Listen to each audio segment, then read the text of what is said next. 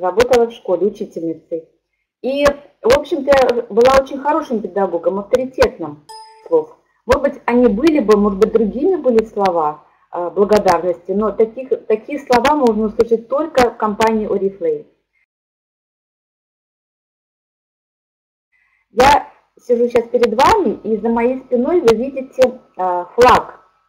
Он такого синего цвета, и там написано Oriflame. И меня, меня потом спросили, это вы специально флаг повесили для декорации? Поэтому теперь, когда я выступаю, я всегда говорю, вы знаете, этот флаг я повесила не для декорации. Этот флаг висит всегда в нашей комнате. Это очень памятно и очень а, близко для нас, потому что этот флаг подарил нам наш спонсор а, Анжей Рышкевич, когда мы закрыли квалификацию бриллиантового директора. И, э, как видите, синего цвета еще был у нас корпоративный цвет нашей компании. Не фисташковый, как сейчас, а именно синий. И такое сочетание, видите, с моим банкетным платьем так очень красиво идет. На этом флаге у нас очень много всяких э, доблестей, которые мы э, получили от компании. Там очень много значков от тех, из тех стран, в которых мы побывали, тех стран, которые нам подарила компания как путешествие. Это медаль э, за лучшие достижения. Этот праздник и э, футбольный клуб нам тоже подарил там своеобразные такие памятные такие вымпелы. Поэтому это очень памятные для нас знания, это очень памятные для нас все знаки, которые висят на нем. И хочу сказать, почему именно флаг у нас висит в нашей комнате, потому что, вы знаете, последние 17 лет моей жизни неразрывно, не только моей жизни, жизни моей семьи, неразрывно связано с компанией Реплей. Все, что хорошее, счастливое, радостное произошло, то даже и горькие моменты, была поддержка от компании Oriflame. Это, это все, что произошло в моей жизни, все связано с компанией. Поэтому мы очень чтим семьей своей этой компании. И поэтому, и так как муж мой был военный, он был любитель значков, знамен, вот этих флагов всяких, и поэтому я продолжаю эту традицию его тяготения к этим вещам, и поэтому знамя всегда будет висеть в моей комнате. Вот. Ну и хочу немножечко рассказать о себе. Я знаю всех разные истории прихода в Oriflame, и у каждого свои какие-то сомнения были, свои, свой, свой путь был прихода. Я расскажу о своем пути. Не буду сильно, в сильных таких очень серьезных подробностях, потому что, вы знаете, если рассказывать в серьезных весь путь, это будет очень долго. А нам надо сегодня с вами уложиться, чтобы вы не устали от меня, и чтобы я тоже смогла вам главное рассказать. А, вы знаете, такая картинка, которую мы выставили здесь, как а, начало, да, Светлана Гречишникова, топ-лидер. Видите, в таком я красивом платье, так, такими украшениями, с прической, да, а, выгляжу так респектабельно, да, но ведь это далеко не так было всегда. Вернее, раньше это было совсем не так. Потому что, в общем-то, я э, родом из Советского Союза. И, в общем-то, в Советском Союзе как-то все жили, а, ну, как-то одинаково. У всех был один принцип жизни. А, родиться, выучиться, народить детей, воспитать детей, найти работу, и причем такую, чтобы эта работа была, ну, на одном месте, знаете, к ветеранству все стремились. А, как люди жили? А, крупную покупку, значит, надо где-то занять, потом отдать. Постоянно экономить, запасы на зиму, то есть вот постоянной такой вот суете, такой жизненной, люди жили и считали, что это все нормально. Я вам сейчас покажу шаблон. Я знаю, что э, вы тоже будете согласны с этим шаблоном. Так, правильно бы мне еще вот эту нажать стрелочку. Ой, боже, сейчас попробую. Ой, не то нажала, извиняюсь. Сейчас вам всю презентацию покажу, и вам уже не, не интересно будет меня слушать. Так, попробую это. Вчера у меня все получалось. Вот. Вот посмотрите, по такому шаблону, в общем-то, даже государственному живут все. Очень жаль, что сейчас многие в 21 веке тоже продолжают жить по такому же шаблону. Здесь кое-что нужно менять. Вот. В каких местах менять, это уже каждый решает сам. Но мне кажется, что вот та жизнь, которая была в 20 веке, она немножко существенно, не немножко, а существенно э, отличается от вами. И вы, я знаю, что многие со мной согласитесь в этом. Так вот, что я хочу сказать. А, в общем-то, э, в Минске мы живем не, не так давно, мы живем с 96 -го года. До этого мы семья, обычная семья, обычная семья военнослужащего, может быть, даже не обычный служащий, который на одном месте служит. Вот мой папа, например, был военным, он служил в одном месте, он никуда не ездил. А мы вот такие военнослужащие, которые, ну, очень много поездили, даже вот в таком самой крайней точке. А, два года прослужили в Кушке, в Кушке нам пришлось замена в Германию. В Германии мы еще четыре года прослужили. Ну а потом уже попали на Украину. Попали в великолепное место, Полтавская область, и жили мы там 10 лет. А, я устроилась в школу, конечно же, была таким очень авторитетным педагогом в школе. Муж мой, э, Гречишников, он работал в военкомате. Мы, в общем-то, за 10 лет обросли а, знакомыми, очень хорошими, близкими уже теперь нам почти родственниками. У нас появилось знакомство во всех областях, там каких-то там и в больницах, и сами знаете, как это в районном центре жить. Мы не в самой Полтаве жили, в районном центре. Вот. И я вам хочу сказать, что все 10 лет мы приобщались к сельской жизни. Почему? Потому что ну, приходилось нам держать хозяйство, сажать э, все, все какие-то овощи, которые мы должны были, могли кормить. А, что у нас, как, какой у нас был вот уклад жизненный? Работа, после работы надо было накормить хозяйство. Хозяйство состояло двух кабанчиков, это где-то 60-70 сей, кролики были, вот это все хозяйство надо было кормить. И получалось так, что из года в год жизненные наши вот такие вот эм, жизненный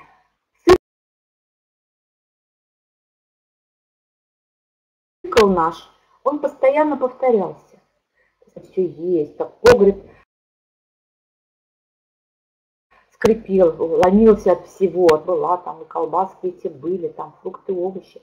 Все было, ну, ну изобилие полнейшее. Ну, по-другому в сельской местности, там, где мы жили, жить было нельзя. Просто мы бы там с голоду умерли. Надо было все как-то самим все это выращивать, создавать все это, закрывать в банки. Вот. И где-то лет пять очень достаточно это было интересно, может быть, ну, потому что, наверное, что-то новое в жизни появилось, вот так, даже в таком ракурсе. Вот, и, но вы знаете, с каждым годом я стала замечать, что из года в год все повторяется. Повторяются одни и те же. Я знала, что придет весна, мы берем двух кабанчиков, 60-70 курочек, там, уточек там. Осенью мы начнем потихонечку их забивать, закрывать в банке. Опять зиму мы едим, проедаем, весна опять то же самое. И вы знаете, я вдруг почувствовала, что мне стало просто неинтересно интересно вообще жить от того, что каждый год было все одно и то же. Мы даже не могли поехать в отпуск, потому что никуда не могли поехать. На отдых никуда, ни к родственникам. Почему? Потому что надо было обязательно кормить наш все, весь зверинец, который у нас был. Надо было сажать, сеять, собирать. И ничего не менялось. Вот такая была жизнь. Сейчас я вам покажу вот по такой, вот по такой спирали же одно и то же, одно и то же. И вы знаете, мало того стало неинтересно жить, я стала, я просто стала переживать за своих дочек. Я подумала, а что у них будет в жизни? Вот они что же вот так же вырастут. Ну, возможно, пойдут выучиться, вернутся, выйдут замуж, и что же будет? И будет то же самое. Они точно так же, как я, будут брать двух кабанчиков, там 20 гусочек, э, крывать, и у них тоже будет то же самое. И мы как-то на семейном совете сможем решили, что как только он закончит служить, э, выслугу свою получит положенную для пенсии, мы сразу же с ним уедем. И так как он был из Минска родом, в Минск, и начать вот жизнь, можно сказать, с нуля. А, вот покажу вам сейчас, как это с нуля. Вот так. Вот такого чистого листа. Мы продали все, что у нас было. Были только там пожитки в коробках, ящиках. Машину продали, которая у нас была. А, квартиру сдали и приехали вот с двумя детками уже. Старшая в 11 классе училась, младшая в 7 классе. Мы приехали в Минск. И хочу вам сказать, немногие решатся на такой шаг. Я не знаю, может быть, я вот с сегодняшнего возраста, может быть, я бы никогда не решилась. Но тогда, наверное, вот а, как-то был еще задор какой-то молодой. Хотя сейчас вот э, э, работая в компании Reflame, читаю умные книги, наверное, я бы и сейчас уже все бы изменила, потому что уже сейчас ничего не страшно, потому что я знаю, что все в жизни можно сделать самому, все можно менять, все можно изменять, мы же не дерево, мы, не, мы можем встать и что-то изменить. Вот. Но тогда, когда мы приехали в Минск, мне так было страшно, потому что работу я сразу найти не могла, потому что это была зима, когда мы приехали, в школе уже все было все места были за. Вот, Юра устроился куда-то сторожем. Вот, деньги, те, которые мы э, распродали, все быстро закончились, и мы уже пошли к родителям жить, потому что квартиру мы оплачивать не, не смогли. И у нас стала первостепенная задача номер один – купить квартиру. Почему купить? Потому что мы когда приехали, уже военнослужащим, уже таким как мы, уже квартиру не давали, потому что мы являлись уже гражданами Украины, и никакого отношения к Беларуси мы не имели. И нам сказали, становитесь в общую очередь, ну и ждите, когда вас пригласят. Ну и так мы, как мы поняли, что нам ничего не дадут, как это раньше при Советском Союзе было, получали там через полгода квартиру да, от государства, нам уже такое ничего не светило, и мы поняли, что нам квартиру придется покупать самим. И для этого надо было как-то где-то искать деньги. Вот, я в школу потом устроилась, конечно же, с осени, меня уже с удовольствием взяли. Вот, ну и знаете, вот, вот на таком распутье мы встали, что делать? Да, вот когда не хватает денег и знаешь, что тебе надо покупать квартиру, потому что надо же как-то не с родителями, потому что квартира небольшая была у родителей, и потом, знаете, когда мы привыкли жить самостоятельно, даже близкие люди, как говорят, две хозяйки на кухне, это уже много. И поэтому а, стал такой очень суровый и серьезный вопрос нашей семьи, что надо покупать квартиру. Ну, мы так сели, посчитали. Все доходы, которые мы имели, конечно же, ни о какой квартире думать и нельзя было. Обычно что делают люди, когда не хватает денег? Конечно же, идут, устраиваются еще на одну работу. Не хватает денег на двух работах, идут устраиваться на третью работу. Ну и так получилось, что я так и сделала. Я сначала в одной школе устроилась, потом я устроилась во второй школе, по субботам ездила туда, работала. Ну а по воскресенью у меня еще ученики были, репетиторством занималась. Ну и муж тоже где-то где-то там что-то нужно помочь, кому-то там что-то сделать, там перекопать там э, какой-то огород, там еще что-то ходил тоже там. И вы знаете, э, Вроде и трудились много, подсчитывать доходы опять на квартиру, ну, ну лет через 50 мы ее купим, но через 50 лет на, на что нам уже эта квартира нужна будет. И вот тогда мы стали думать, что же делать дальше. Ну как, заняться бизнесом, для этого ресурсов не хватало совершенно, знаний никаких нет. Ну что делать? И тут как раз появились на территории Беларуси появились предложения а, сетевых компаний. И я стала просто посещать там различные презентации, ходить, смотрятриваться. Вот. И на одной презентации я как-то, а, мне понравилась продукция, я решила заключить э, контракт с компанией. Это была, а, не буду называть компанию, потому что неэтично с моей стороны будет. Просто это компания, которая занималась э, биологически активными добавками. Вот. И э, я туда вошла, в эту компанию. Ну и первое, что там сказали, надо учиться. Я как человек такой, знаете, грамотный, понимаю, что если что-то новое начинаю для себя изучать, мне обязательно надо как-то проходить обучение. Хочу сказать, что на тот момент книг, вот такого изобилия книг, как сейчас, а, тогда не было. Там некогда, негде было взять, чтобы что-то почитать. Я просто ходила раз в неделю, я ездила на занятия из Гатова, мы тогда в Гатово жили, мы ездили, я ездила в город и посещала эти, эти занятия. И вы знаете, я когда стала посещать и стала понимать, что это очень классная вещь, сетевой бизнес. Что любой человек, который не имеет э, особых таких финансовых возможностей, который не имеет специального образования, но изучив систему правильного ведения сетевого бизнеса, может здесь преуспевать. И я как-то этим очень заинтересовалась.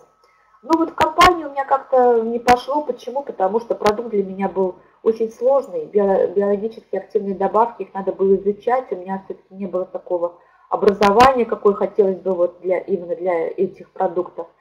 Вот потом я еще в одну компанию вступила, там тоже походила на занятия, потом еще в одну. И муж меня в этом плане, кстати, не поддерживал. Он как-то, как, как говорят, красная тряпка на быка, для него это был сетевой бизнес, он со мной ругался постоянно. Постоянно у нас какие-то были стычки с ним, я ему говорила, Юра, по-другому здесь ничего не сделаешь, надо как-то хотя бы в каком-то, как, где-то что-то все равно, в любом случае нам что-то надо искать. Но почему не здесь? И вы знаете, так повезло мне, что в одной из компаний, а, куда я как раз тоже вступила, а, был организован семинар а, под Гродно. И э, семинар был недорогой, он позволял нам по деньгам что-то такое, то ли 20 долларов на человека, то ли 15. Ну, я решила взять своего супруга и сказала ему, слушай, Юра, давай съездим с тобой, там рыбалка будет, там есть озеро, ты порыбачишь там, а я похожу, буду на занятиях, там буду слушать э, там, обучающие какие-то э, программы. Вот. И таким образом я его уговорила поехать. И вы знаете, этот семинар, э, в общем-то, перевернул, вот трехдневный семинар, на который мы попали, перевернул нашу жизнь. Почему именно нашу? Потому что именно этот семинар для моего мужа стал знаковым, потому что никакой рыбалки он уже, конечно, не пошел ни на какую рыбалку. Он просто сидел вместе со мной на этом обучении, слушал, какие-то нелепые вопросы задавал. Я ему все время на ногу наступала, говорила, что ты такие глупые вопросы задаешь, это так все знают. А он дотошно интересовался, спрашивал. Вот три дня поварился он среди людей, которые к чему-то стремятся, обладают какими-то специальными знаниями. И мы, когда вернулись в Минск, он уже был полностью готов к вступлению в сетевой бизнес. И вы знаете, я вот не знаю, это, наверное, или Вселенная так помогла мне, что мой муж присоединился сразу же ко мне. Или же, может быть, от того, что у меня сильное желание было, или я была в сильном поиске. Я не знаю, как это объяснить, но я теперь понимаю, что это все взаимосвязано, случайности никогда не бывает. Я поняла, что вот тот момент был как раз вот таким, как раз нужным, когда э, пришла к нам в жизнь компания Oriflame. Вот такой у нас был старт, открылась нам. Мы когда приехали в Минск, нам позвонил Анжель Рышкевич и пригласил а, он был в одной из компаний, где мы находились, он пригласил нас посмотреть каталоги. А, мы тогда нам тут знали, что это за каталоги, мы думали в каталоге той компании, где мы находились все вместе. И мы приехали, э, и он нам показал каталоги, я когда увидела, что это компания Рифлей, говорю, ты что, Анжи, эта компания не для нас, во-первых, она дорогая, я для себя ничего не смогу купить, потому что ну, не могу я себе позволить покупать по такой цене эти продукты. Анжи сказал, ты знаешь, компания Reflame настолько раскручена именно как бренд. И это каталоги, цены стоят, тебе будет очень легко, посмотришь. И мы решили с Юрой попробовать еще вступить в эту компанию. И вы знаете, когда мы изучили маркетинг-план, после того, как мы вступили, но буквально, может быть, через неделю приехала Галина Вячеславовна, наш вышестоящий спонсор с Киева, и она провела с нами занятия рассказала нам маркетинг-план, рассказала нам о возможностях компании, рассказала, что они всего 9 месяцев с мужем работают, и уже за 9 месяцев они выполнили очень высокое звание дважды бриллиантового директора, что они уже побывали, э, компания оплатила им конференцию недельную, они уже побывали в некоторых странах, в которых они даже, может быть, и не слышали, а и названий даже, может быть, даже в памяти не было. И они нам это все рассказали, показали фотографии. И мы когда пришли домой, мы просто, вы знаете, мы не могли спать от того, что мы услышали, что здесь такие великолепные возможности. Просто у меня уже было, вы знаете, у меня уже была возможность сравнивать. Я уже могла сравнить с маркетинг-планами другой компании, с возможностью другой. Я уже наяву видела, что просто, просто это, вот, вот именно это я ждала. Вот именно это нужно нашей семье. И мы начали очень усиленно, усиленно изучать продукцию. Вы знаете, до смешного доходило, я просто, вот сейчас, наверное, все грамотные, а я ж, ну, человек, ну, вроде бы интеллигентный, да, педагог, на самом деле, наверное, 10 лет отложила отпечаток, отпечаток какой-то сельской направленности. Вот для меня, например, кутикула, для меня это было такое слово, которое я не могла понять, что такое кутикула. Я стеснялась спросить, и потом как-то на каком-то занятии, я так как потихонечку сидящей рядом девушки спросила, вы мне не подскажете, а что такое вообще кутикула? Какой-то гель для кутикулы. Думаю, откуда я знаю, что там мазать над этим гелем, чтобы убирать или наоборот добавлять эту кутикулу. Поэтому, знаете, вот сейчас, когда столько много информации о продукции, я сейчас вспоминаю свою такую э, тупость в знаниях и думаю, боже мой, столько сейчас всего, столько сейчас все можно узнать, попробовать, потрогать, э, прочитать, в интернете поискать. Это просто, я не знаю, просто сядь за вечер все выучи. Так вот мы стали, стали это все изучать, и причем я очень благодарна нашей Алисе Стародубовой, потому что эта девочка приезжала к нам, проводила с нами занятия по косметике. Она рассказывала про эти четырехэтапный ход кожи, который я с рода никогда не слышала и не знала, и никогда не использовала. Ну что там, ну, бывает там на маму посмотришь, как она нам на ночь э, какой-то крем нанесет на лицо. Чаще всего это был какой-нибудь или детский крем, или какой-нибудь такой питательный. Я знаю, что для моих родителей, для моей бабушки, например, что для рук, что для лица, для них это был один крем, и, в общем-то, и культуры особой не было. И вот такие у нас проходили занятия, где мы все изучали, стремились узнать, потому что, знаете, когда приносили каталоги, люди спрашивали, а вот это что вы посоветуете? И очень было стыдно быть таким профаном, чтобы люди видели, что ты принес и ничего не знаешь о своей продукции. Вот. Но что касается продукции, это было не так сложно. Самое сложное было, когда стали организовываться команды. Мы просто не знали, что с ними делать, с этими командами, что с этими людьми делать, какие занятия проводить. И вот тогда пришло время серьезного обучения. Фактически, можно сказать, хочу, хочу опять-таки сказать, вы знаете, друзья, вам так везет, что у вас обучение, просто сказать, даже в вашем городе.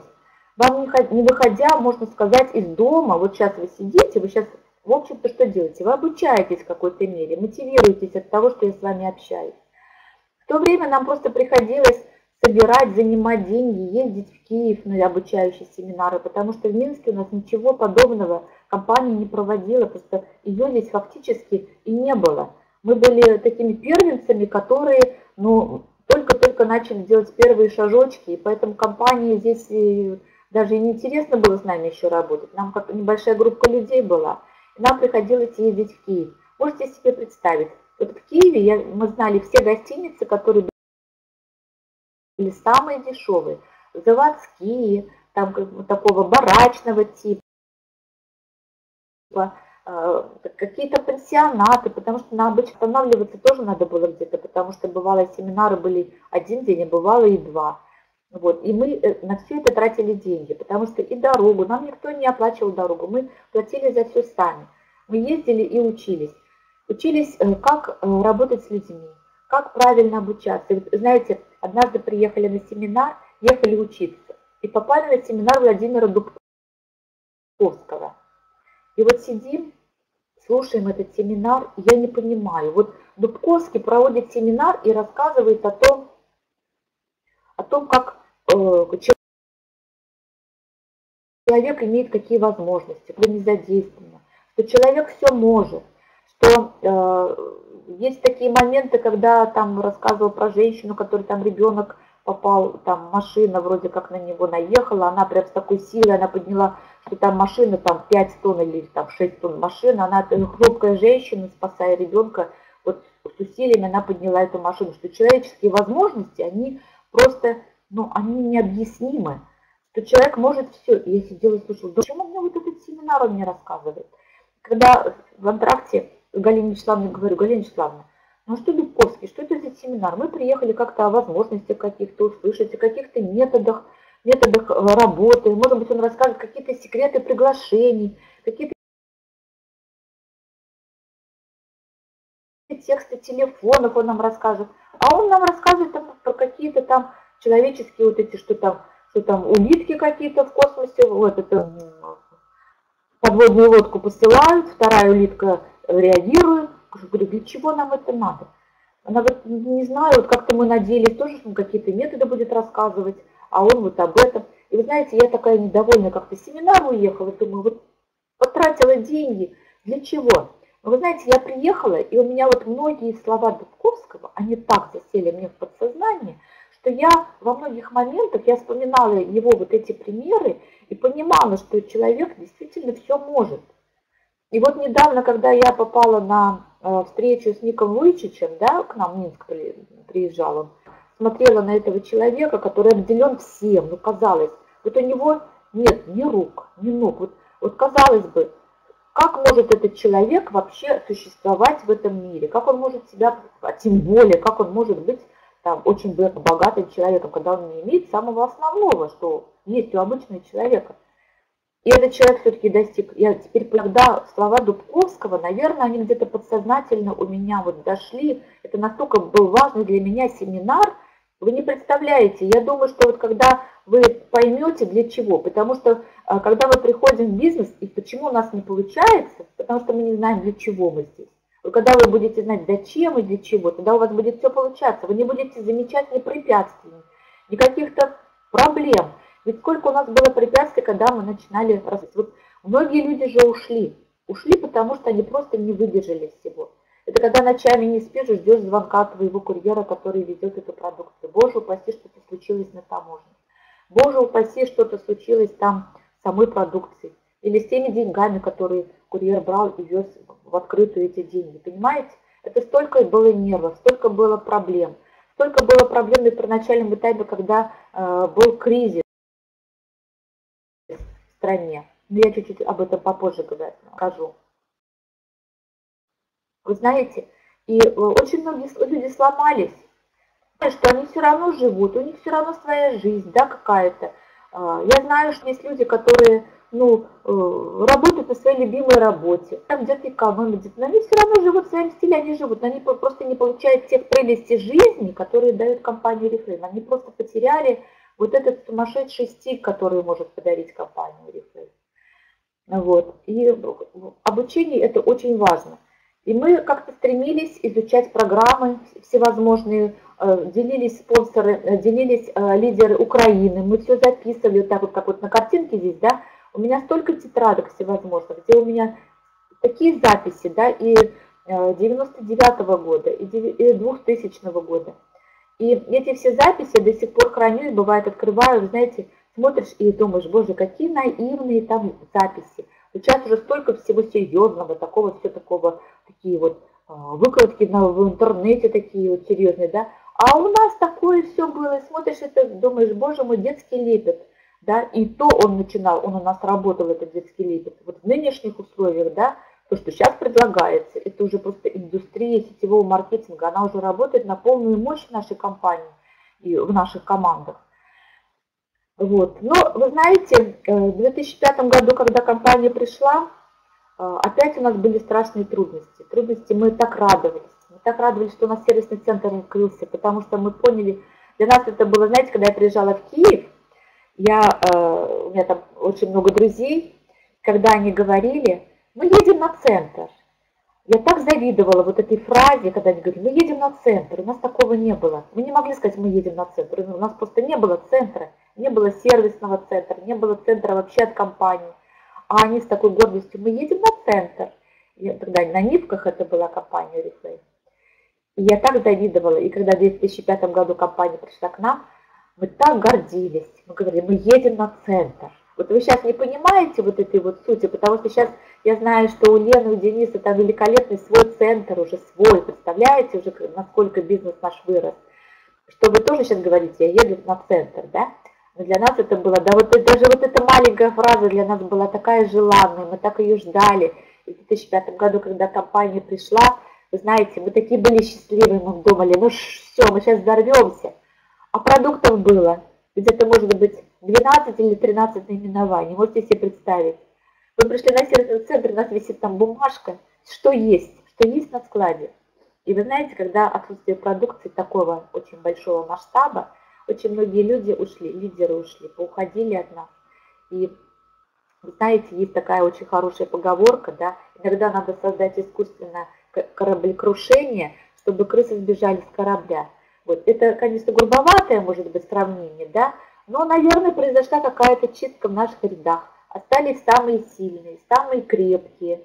И в 2006 году наш бизнес очень пошел на взлет хорошо, потому что очень сильные лидеры остались, амбициозные, целеустремленные, такие вот закаленные, да, и у нас бизнес пошел очень хорошо. Ну, кстати, в 2006 году закрыли бриллиантовый уровень, а в 2005 году мы упали, в 2006 году мы закрыли бриллиантовый уровень.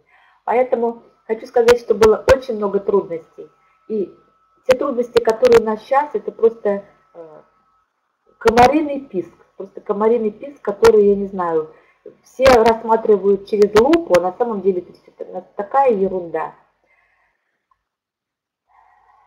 Так, сейчас перехожу к следующей стадии своего рассказа. Вы там не устали от меня еще? Нет? Не устали, да, вижу? Раз сердечки э, улыбки, значит не устали. Вот посмотрите, какие были у нас трудности в 80-х годах. Вот мое поколение, вот постарше поколение, кто сидит сейчас перед компьютером, вы, наверное, помните эти пустые прилавки, когда во всем был дефицит, вот, и мы искали возможности, опять-таки, кто-то, э, спекули... как это говорили, спекулянты, да, на сегодняшний день спекулянты превратились в предприниматели, люди ездили куда-то, мотались, везли, а мы вот сидя в тепленьких там одеждах, тепленьких там постельках, э, называли их так это э, не очень красиво спекулянтами. На самом деле это, наверное, были первые предприниматели. Вот. Дальше какие были трудности?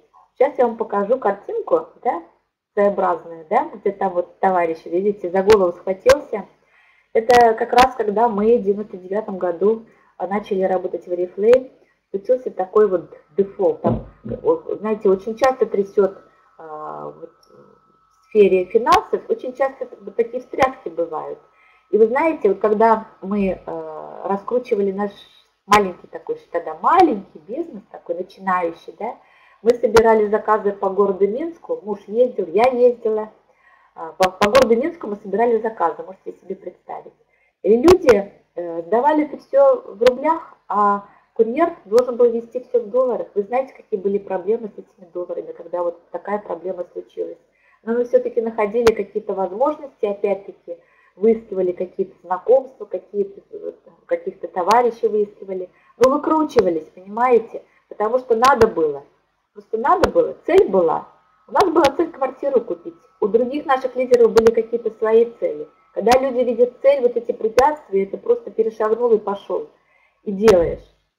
И вот на сегодняшний день, да, у нас тоже сейчас вот такое творится. Да, вот сейчас смотрим за окном, вроде бы с экономикой тоже сейчас не все в порядке. Все, что так у нас, знаете, нам что-то не нравится. А, ну, что могу сказать? то на сегодняшний день, на сегодняшний день компания Reflame даже вот в этих условиях, она все-таки у нас имеет плюс в товарообороте по сравнению с прошлым годом. Даже плюс 7% у нас товарооборот повысился по сравнению с прошлым годом. Мы не упали, мы держимся, мы растем, мы получаем награды, мы двигаемся, растут директора, растут менеджеры. Нас ничего остановить не может. Почему? Потому что здесь великолепные возможности для всех. Здесь великолепный менеджмент, здесь великолепный маркетинг план, спонсоры. Вот те спонсоры, которые у вас, это великолепные люди, которые вас просто ведут за собой, просто, знаете, за ручку, под ручку, я не знаю, там и, и дуют на вас, и там, не знаю, и чаем, кофеями вас поят, и всякие презентации мероприятия устраивают веселительные, чтобы вам было интересно. Вот поэтому для нас вот эта стрелочка, да, для нас эта стрелочка не показатель. В мире Арифлейм нету такого показателя. В мире Арифлейм всегда показатель или ровный, или идет вверх. У нас даже сейчас, на сегодняшний день, он не ровный, а чуть-чуть даже поднимается вверх. Поэтому вы, вы просто пришли в нужное время, в нужный час. Вот именно сейчас можно начинать и прекрасно начинать работать.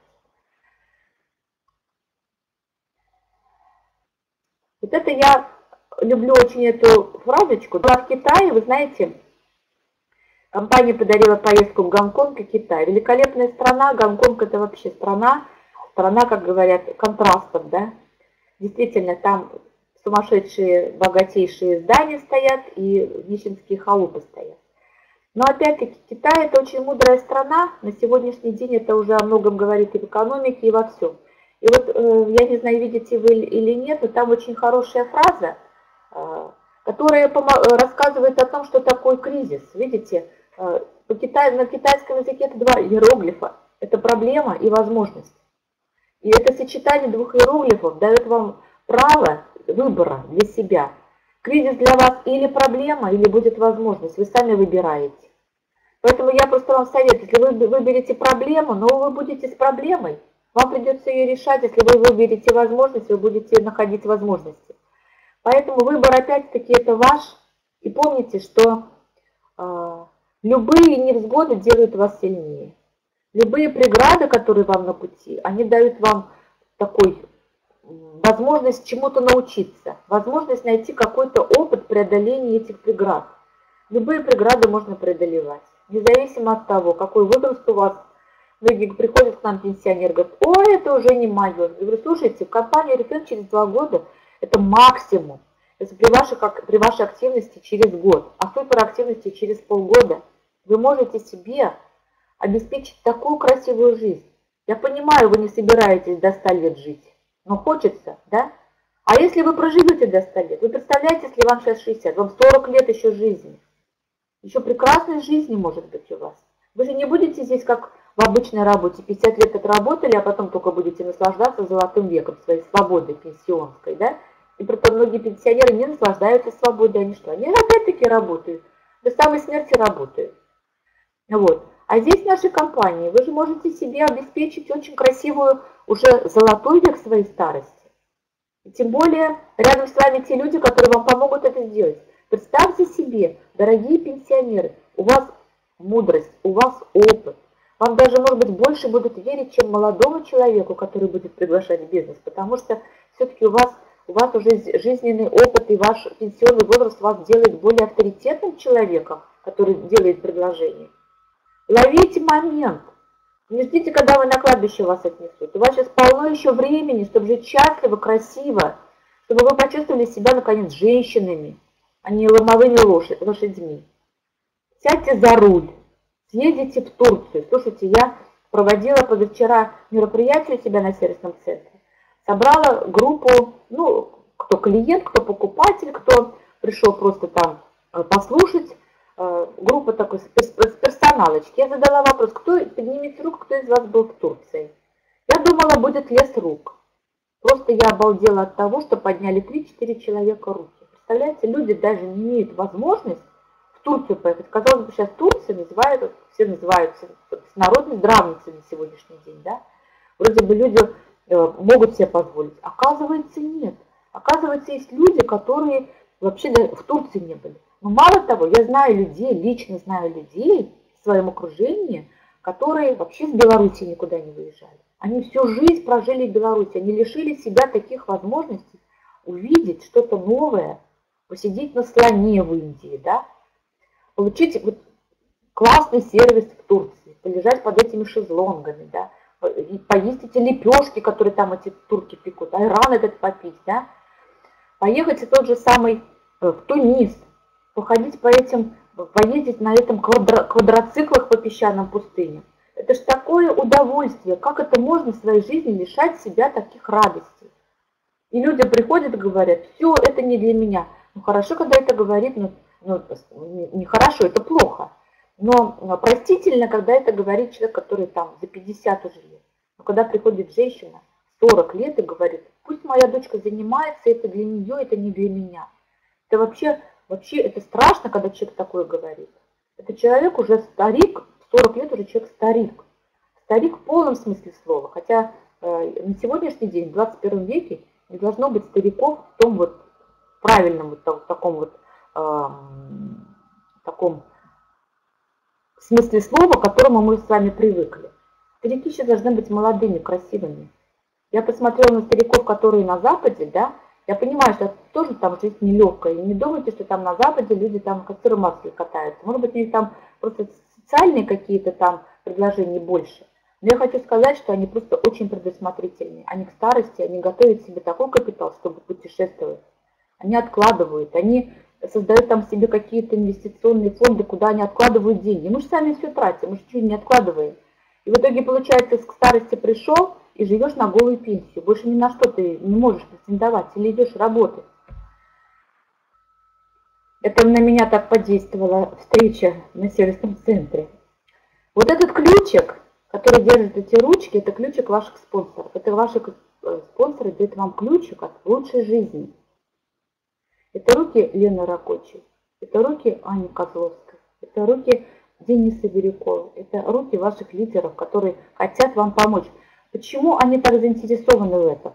Потому что только Потому что э, когда вы будете успешны, только тогда вы, они будут успешны. Ведь я успешна не потому, что я такая хорошая, потому что у меня такие лидеры, потому что лидеры услышали меня и захотели создать в своей семье хорошее будущее. Только потому, что они услышали меня. Если бы они меня не услышали, я бы никогда не была лидером. Я бы никогда бы жила той жизнью, которой живу я сейчас. Здесь такая, такой тендент, здесь такая совокупность наших действий, наших стремлений и целей, который дает нам возможность именно работать командами. Вы здесь не одни, вы не брошенные вы здесь. У вас здесь за вами, за вашей спиной целая команда. И перед вами команда. И ваши спонсоры, ваши ведущие, наставники ваши. Представляете, как вам повезло? Наш наставник Анжей Рышкевич пришел вместе с нами, он не обладал такими уже глубокими знаниями, чтобы нам помогать. Мы вместе учились. Он, хотя старался занятия, какие-то организовывал встречи, Галину Вячеславовну приглашал, создавал ей условия, чтобы она для нас проводила какие-то встречи. Понимаете? Он выполнял свою такую серьезную спонсорскую функцию. Галина Вячеславовна к нам приезжала, но она приезжала с Киева, она от нас далеко была. Звонить тоже, знаете, с деньгами было сложновато. У вас все рядом, берите, хватайтесь, держитесь. Вытрясывайте все знания. Не отходите от спонсора, пока не поймете, что вы поняли, что делать и как.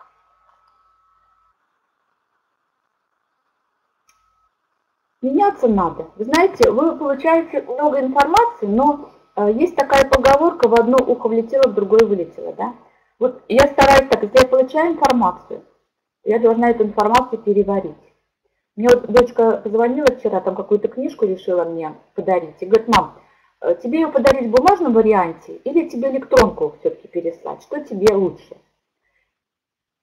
Я знаю, что вы уже поняли, что я ответила. Если она бы мне прислала в электронном варианте, вот я ее читаю, эту книгу все, в бумажном варианте, я бывает читаю, вот страничку, да, я прочитала. Я чувствую, что мне надо, я не, я недопоняла. Мне надо проанализировать эти мысли. Я еще раз ее читаю. Прочитала, я опять переварила в мозгах, опять я продумала, опять я проанализировала. Я еще раз возвращаюсь, читаю, да. Это то же самое, что про ту информацию, которую вы получаете. Получили информацию. Вам надо обязательно ее вот переварить в голове, в мозгах, переварить, проанализировать, разобраться. Не разобрались, еще раз продумать. Переспросить, если что-то недопоняли. Понимаете, любая информация, она не должна быть сквозняком в вашей голове. Убирайте из головы сквозняки. Любая информация, она должна там задерживаться и перерабатываться. Потому что если вы хотите что-то изменить в жизни, вам надо измениться самим. А измениться, чтобы самим вам надо изменить свой мозг. Потому что именно мозг является вашим таким навигатором, он вас ведет, ваш мозг. Если у вас там, у вас там ничего не поменяется, вы начнете замечать препятствия, какие-то начнете у вас, кто-то что-то скажет, вы уже начнете говорить, а почему вот он так сказал, значит, вот это правда. Вы знаете, вы сначала вы эту информацию получили, переварили, проанализировали, посоветовались со спонсором, поняли, что вам эта информация легла уже так, как надо. Двигайтесь дальше. Вот вы то, что вы сегодня услышите, да, переварите какие-то мои, вот моменты моих слов. Не воспринимайте мое выступление как какой-то вот, бывает, спрашивают, тебе понравилось тому, кто выступал? Понравилось. Что это, концерт какой-то, что ли, или что это, театр? Не должно нравиться. Ты должен сказать, что ты из этого взял для себя. Какие ты взял для себя моменты, принципы, какой ты взял мысль для себя – какой-то путеводный для себя, э, цель для себя новую поставил. Вот ты что должен говорить, когда ты что-то слушаешь или что-то воспринимаешь.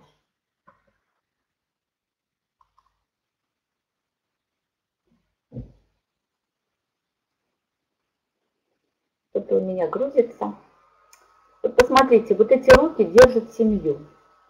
Вот скажите, вот в 96 году Не сели бы мы с мужем, не подумали бы о том, что у нас происходит, не приняли бы мы решение, да? Взять все и вот просто на 180 градусов повернуть свою жизнь. Вот скажите, как бы, какая бы была жизнь у наших детей? Она бы была такая же, как у нас, в сельской местности, брали бы кабанчиков и, и так далее.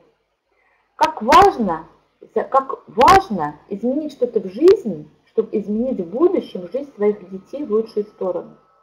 Представляете, как от многих от вас зависит, как будут жить ваши дети, где они будут учиться, как они будут проводить свое свободное время, как они будут одеваться, как они будут питаться, как они будут профилактику своего здоровья делать, как будут жить ваши родители, потому что именно от вас зависит, какая будет у них старость.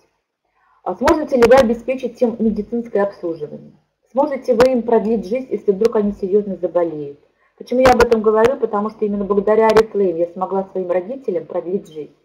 Папе я продлила жизнь на год, маме на два года. Именно благодаря деньгам Арифлейм, потому что Арифлейм мне в этом помог. Потому что именно деньгам я могла приглашать врачей, я могла оплачивать частных врачей, которые приходили, ставили капельницы, ухаживали за моими родителями. Делали сложные уколы, которые не могла делать я. Поэтому все зависит от вас. Вот вы в руках своих держите свою жизнь. Правильно говорят, что все в ваших руках. И мои дети, мои дети, они очень много увидали в своей жизни. Почему? Потому что у них мечты, которые у них были, они сбылись. Сейчас они живут каждый в своей отдельной квартире. Мы все живем отдельно, да? Это хорошо. Может быть, в какой-то мере как-то вот по многим э, параметрам, ну, это плохо, а я считаю, что все должны жить отдельно, потому что должны жить самостоятельно и встречаться вместе по праздникам, по каким-то приятным событиям или просто ходить друг к другу в гости на чашку чая. Это хорошо, чтобы не было никаких ссор, никаких не было э, так это, расхождения во мнениях, чтобы, чтобы было все дружно, потому что должны быть жить отдельно. Поэтому вот то, что здесь написано, это все правда. Мои дети вместе со мной ездили, были во многих странах. Они побывали в многих странах мира. Они ездят на своих машинах. Они создали свои семьи и прекрасно живут со своими э, близкими, мужьями. Потому что они, э, у них видение другое, они воспитаны по-другому, они мечтают, у них есть цель, у них есть желание, и они знают, как э, правильно разговаривать, как правильно общаться в своей семье, как правильно а, создавать праздники. Они все это знают, и у них будет великолепно, потому что именно благодаря компании Reflame мы этому всему научились. Мы посещали семинары, и мы знаем, как это все делается. И поэтому самая главная задача ваша – посещайте такие семинары, потому что эти семинары не только вас учат, как вести бизнес, но еще, еще как правильно относиться к жизни, как правильно обращаться и соотноситься со своими родственниками и близкими.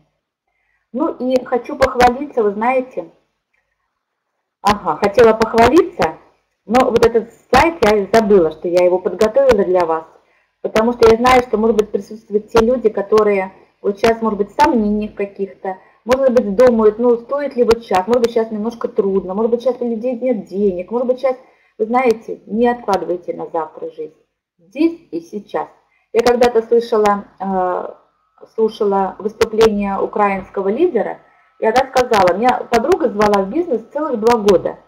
И я целых два года я отбрыкивалась от этого бизнеса Арифлейма. Наконец она меня уговорила, когда я стала присмотрелась, и теперь, говорит, я понимаю, я просто от себя, у себя украла два года лучшей жизни. Не крадите у себя годы лучшей жизни. Вот здесь и сейчас начинайте. Вот услышали, что вам сказал спонсор, и делайте здесь и сейчас. Не откладывайте жизнь на потом.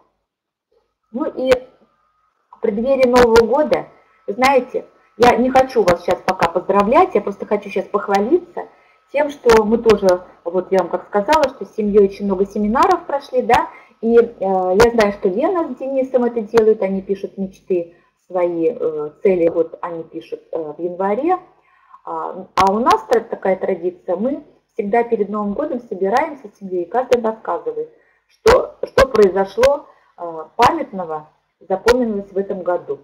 И э, что произошло лучше, чем было в прошлом году. Каких событий произошло лучше, чем в прошлом году. Вот. И я хочу вам такой маленький отчет сделать. А, очень хорошо, когда в году проходит очень много приятных событий, да. Бывает, у человека спрашиваешь, а он даже вспомнить ничего не может. Он может вспомнить это на день рождения, он побывал там, на каком-то юбилее, вот это все воспоминания, да. Вот я сейчас вам поделюсь, какие а, события, такие крупные события. Ну, день рождения это само собой, потому что день рождения мы тоже отмечаем по-особенному. Вот, моя дочка старшая, например, а, зять мой отмечал 40-летие в этом году, а, они ездили в Сингапур 40-летие отмечали в Сингапуре. Вот скажите, кто из вас может похвалиться, что вы можете отметить свой юбилей в Сингапуре? Ну, мои дети это себе позволили, потому что, опять-таки, почему? Потому что мы живем в компании Oriflame. Ну, и сейчас покажу вам те события, которые произошли э, вот э, в этом году. В этом году компания нам подарила поездку в Дубае, о, в Абу-Даби, э, в ЮАР, в Арабские Эмираты. А вот, вот вверху, видите, вот такая сидит дамочка, это я, с, кружечкой. Это не простая чашечка с, с блюдечком, это э, кофе с золотом. Там сусальное золото посыпано сверху, так что мы себе могли позволить, э, нас просто пригласили во дворец, во дворец, где проходил э, на улице проходила все у нас гала-ужин, решили походить, посмотреть там все, и мы там во дворце пили такой кофе золотом. Вы знаете, Арабские Эмираты, это все на золоте. Вот внизу мы соленый стоим, видите? А, это э, банкомат, он сделан из золота. Можете себе представить? Когда-нибудь сможете рассказать, что вы фотографировали с банкоматом, сделанным из золота? А вот мы можем похвалиться.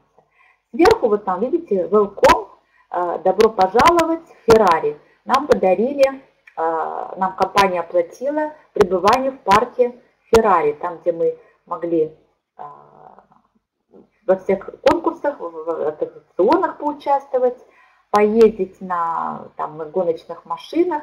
Короче, великолепный там было у нас, конечно, великолепный день. Я знаю, что Лена с Денисом тоже там были, получили удовольствие. Ну а внизу, вот это внизу фото, видите, мы на 64 этаже. А, руководство компании нас пригласило, белорусская именно делегацию из Беларуси. На 64 этаже у нас в ресторане был ужин, посвященный а, нашей делегации Беларуси. А вот, это было в январе 2016 года. Еще одна конференция – это Кипр. В этом году мы были на Кипре и в Сочи. Вот это вот э, первая часть нашего, э, нашей золотой конференции – это Кипр. Вот видите, как растут бананы. Вот вы многие даже, может быть, и не знаете, а мы, мы все знаем, как растут бананы. Вот так они растут снизу вверх, такими вот, такими вот початками. А вот сверху мы, видите, это мы на пляже э, покупались, потом захотелось нам кофе, мы поднялись наверх кафешку, и вот, видите, сидим, пьем кофе в кафе спокойно. А это у нас, видите, компания поставила такие красивые буквы, это мы перед конференцией была у нас встреча э, с руководством компании. Вот мы так вот решили сфотографироваться на фоне этих букв. Это Кипр. С Кипра мы отправились в Сочи. Сейчас пока грузится. Вот, видите, это Сочи. Посмотрите 3D. Написано «Действуй, достигай, дерзай, действуй, достигай». Я у своей тети спрашивала, тетя Шура, говорю, ну как ты живешь? Она говорит, на 3D. Я говорю, как, действуй, э, дерзай, действуй, достигай. Она говорит, нет, донашивай, э, доедай, донашивай, доживай.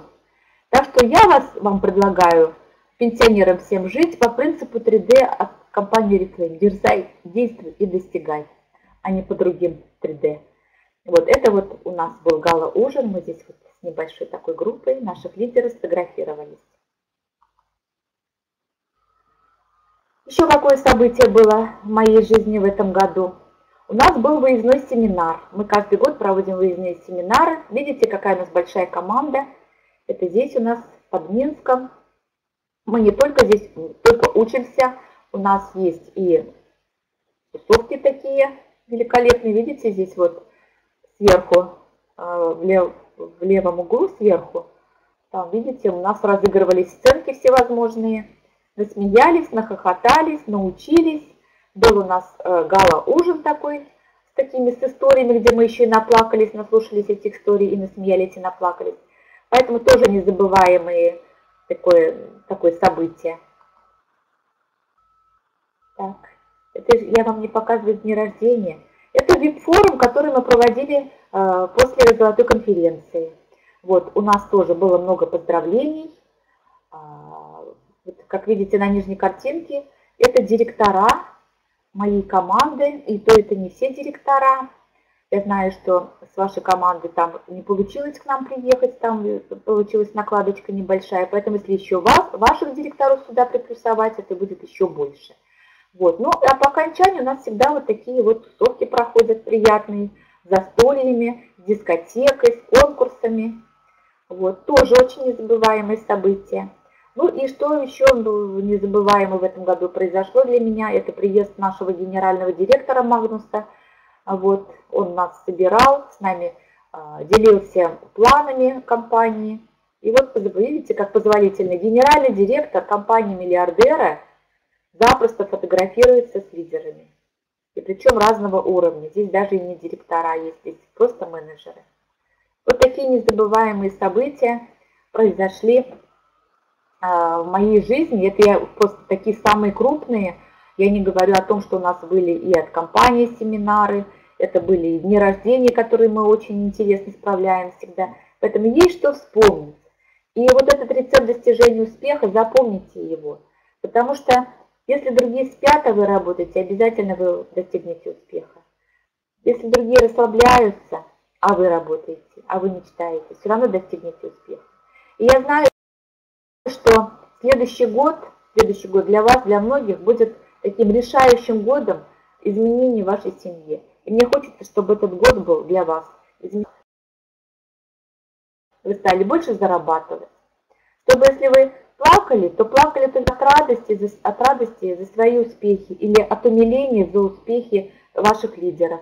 Чтобы у вас как можно было таких счастливых событий, о которых вы будете вспоминать, чтобы у вас появилось еще больше друзей, чтобы у вас увеличивались команды, чтобы детки ваши были рядом с вами, потому что они будут продолжателями вашего бизнеса.